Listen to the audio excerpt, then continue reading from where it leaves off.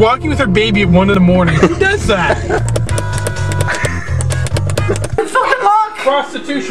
No job. They're just gonna fire them anyway. I say, give up. Go on social systems and milk the goddamn system because that's the only way you're gonna get any fucking money ever.